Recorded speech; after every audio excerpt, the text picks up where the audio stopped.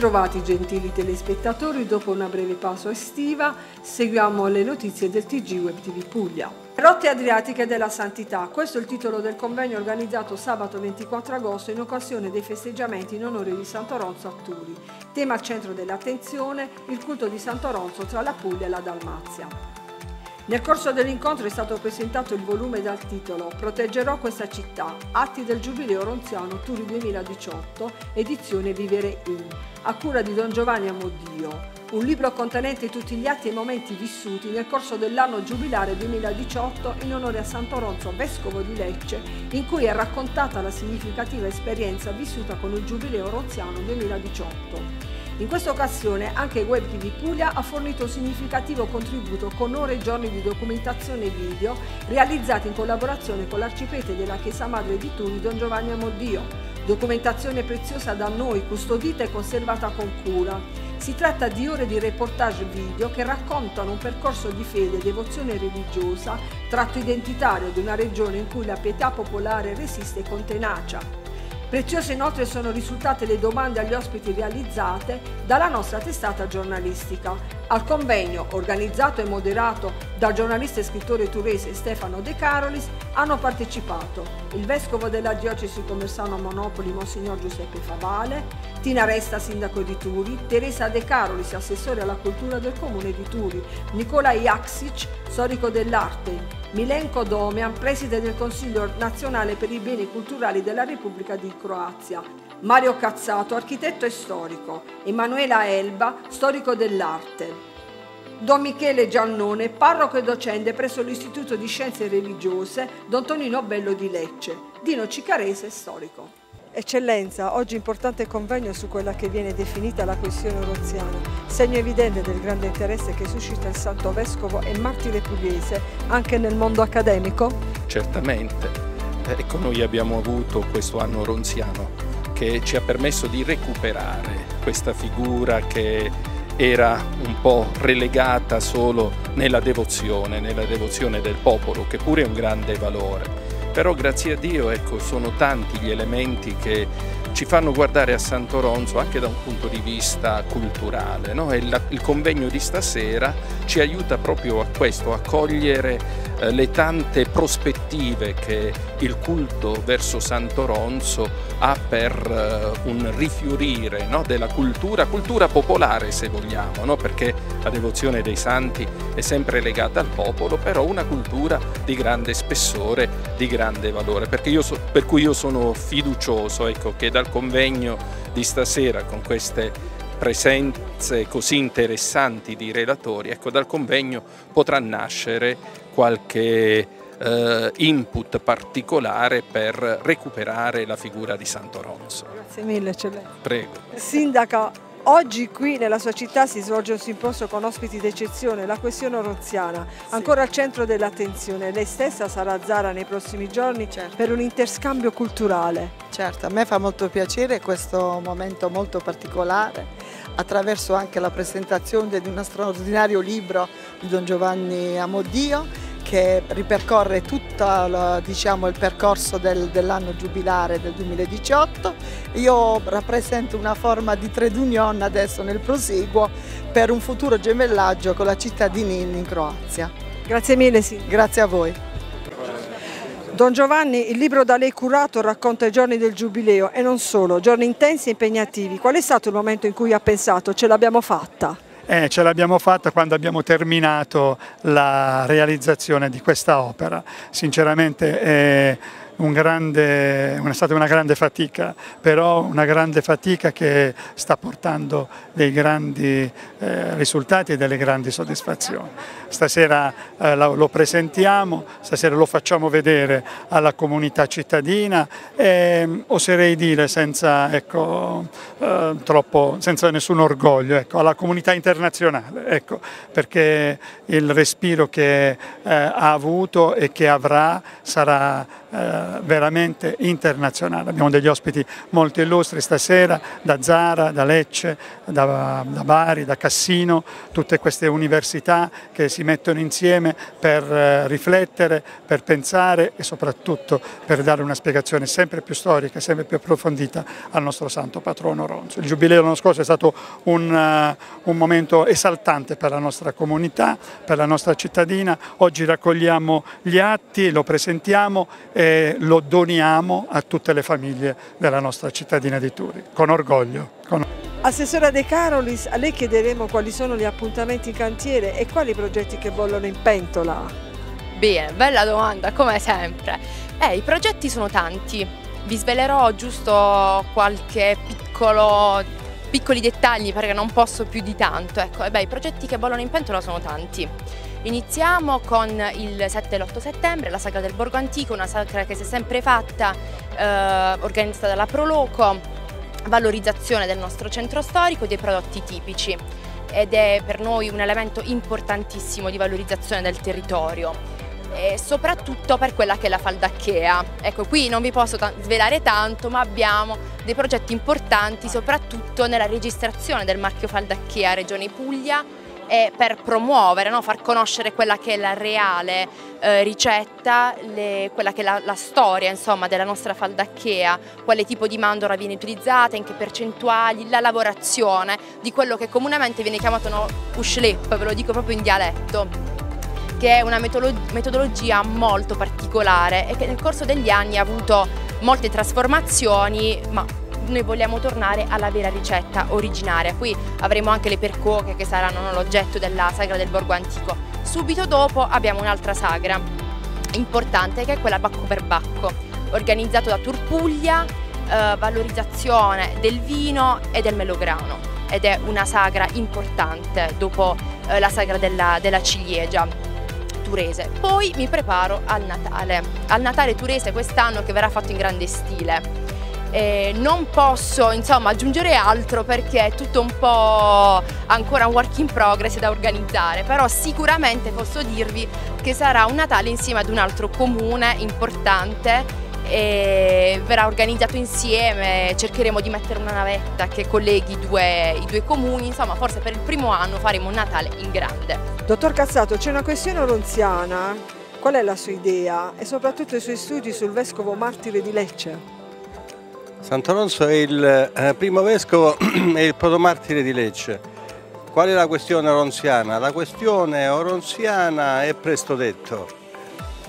Noi non abbiamo documenti originali eh, sul, eh, sulla storia, sulla cosiddetta passio eh, di Sant'Oronzo. Noi abbiamo soltanto una lunghissima tradizione, una serie di testimonianze, una serie di testimonianze anche monumentali, iconografiche è eh, una letteratura abbastanza sterminata che però non va oltre il XV secolo. Tutto qui.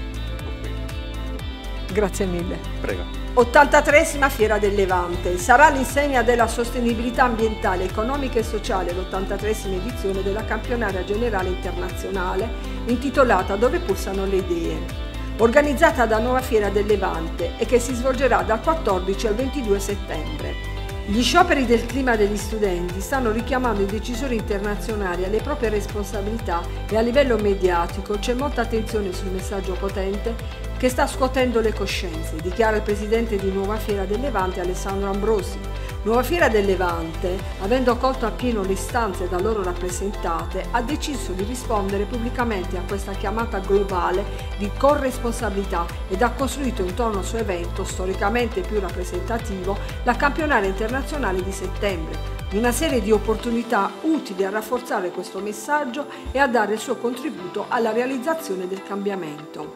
Il tema dell'edizione 2019 sarà quindi incentrato sul cambiamento climatico e transizione energetica, innovazione tecnologica e futuro del lavoro, lotta alla povertà e alle disuguaglianze, salute e sicurezza alimentare, educazione e formazione continua, cooperazione internazionale, infrastrutture e mobilità sostenibile dialogo interreligioso, protezione dell'ambiente e sviluppo economico. Per nove giorni dunque la campionaria si occuperà di tematiche di grande attualità che impongono una gestione più responsabile del nostro pianeta e darà voce a personalità internazionali che attraverso le loro azioni possono aiutarci ad affrontare le sfide di oggi e di domani. Presto vi sveleremo i loro nomi. È fatta! L'edizione numero 20 dei Giochi del Mediterraneo si disputerà a Taranto nel 2026. Lo ha deciso a Patrasso il Comitato internazionale dopo aver preso atto del dettagliato dossier a sostegno della candidatura. Approvato anche il cambio di data dal 2025 al 2026 per migliorare l'appeal sportivo della grande manifestazione olimpica. A Taranto pour 2026. Merci beaucoup. Merci beaucoup.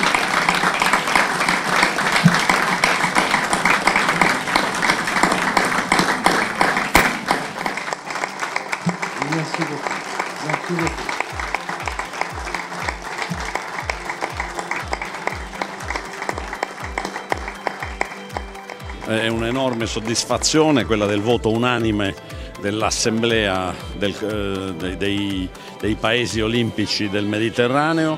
Per noi ovviamente è una grande responsabilità, una bellissima vittoria, siamo entusiasti, ma in pochi secondi siamo passati dalla gioia alla responsabilità di dover nei prossimi sei anni organizzare tutto a puntino perché questi giochi siano i più belli che siano mai stati organizzati fino ad oggi. È un evento importante che può far cambiare volto alla nostra città, alla nostra provincia, ma anche alla nostra regione.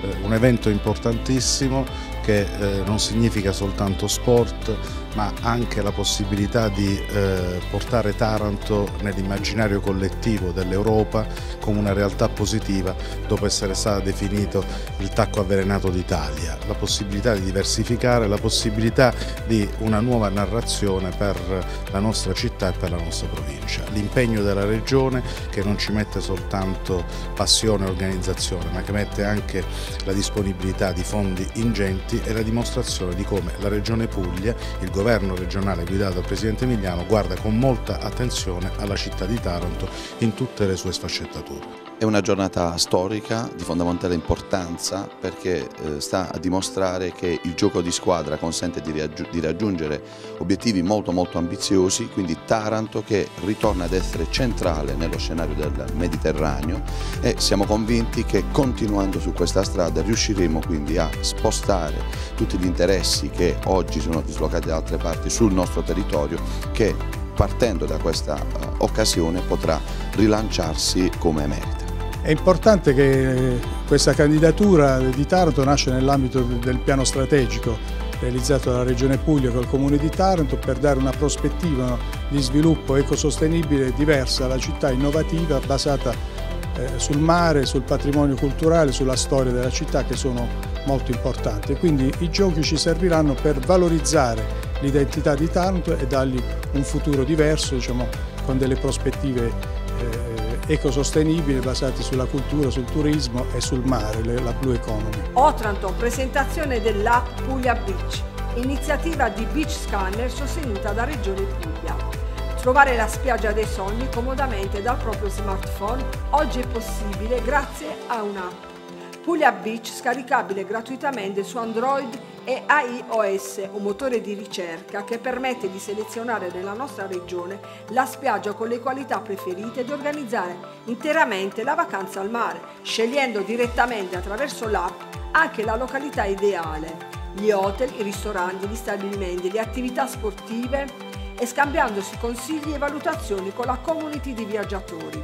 Qui si parte da una idea finanziata in maniera modesta ma evidentemente determinante dalla Regione Puglia che poi diventa però un'iniziativa nazionale, nel senso che oggi questi meravigliosi nostri ragazzi, un po' di tutte le età, perché non sono tutti giovanissimi, ma ce ne sono alcuni eh, sicuramente che hanno avuto un'idea fantastica, hanno mappato tutte le, le spiagge più importanti d'Italia e siccome lo hanno fatto partendo dalla Puglia, oggi fanno un gesto bellissimo, simbolico, quello di regalare alla Puglia l'app che riguarda le spiagge pugliesi in segno di gratitudine per il piccolo sostegno che gli abbiamo dato qualche anno fa. Insomma, eh, io sono qui per orgoglio perché questi ragazzi sono l'orgoglio nostro, l'orgoglio mio e sono qui ovviamente anche per dirgli grazie perché tante cose si possono superare con un po' di ingegno. Noi non abbiamo né petrolio né acqua né risorse naturali, però abbiamo tanto cervello, tanto sale in zucca quando questo sale in zucca funziona eh, le soddisfazioni non mancano.